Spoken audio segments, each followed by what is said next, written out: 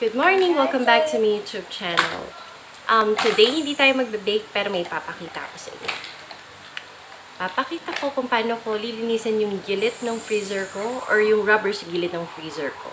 So, first time ko itong gagawin and I hope na effective. So, makikita nyo rin sa video na to yung sinasabi ko, yung, yung gilid ng freezer. So, samahan nyo ako. Simulan na natin.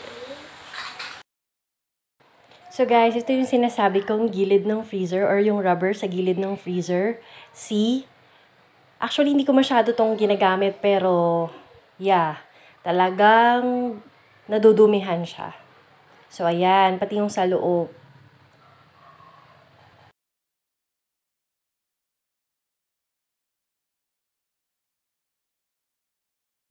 Simulan na natin. So, 1 tablespoon of baking soda, tapos approximately 1/8 cup of Zonrox or chlorine. Pero ginamit ko dito is Zonrox. So mix lang, tapos kuha ka lang ng nagamit ng toothbrush. Simulan na natin ang pagpapahid.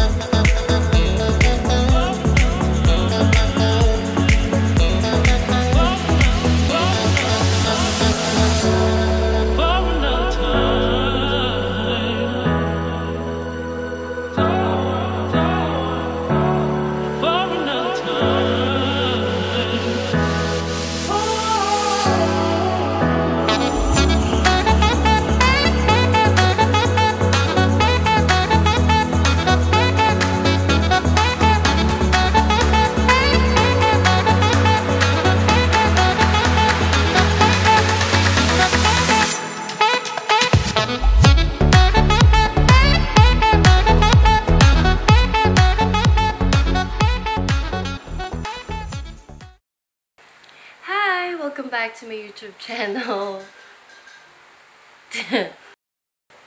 Hi! Welcome back to my YouTube channel.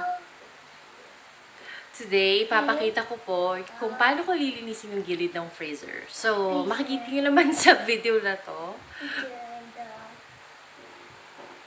yung sinasabi ko. Sabi mo.